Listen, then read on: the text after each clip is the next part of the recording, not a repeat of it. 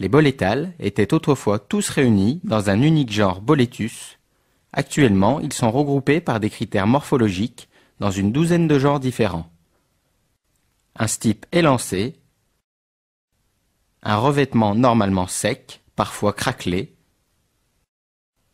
et des pores jaunes ou grisâtres, bleuissants au toucher, sont caractéristiques des champignons du genre Xerocomus, qui sont des comestibles souvent très médiocres, comprenant environ une vingtaine d'espèces.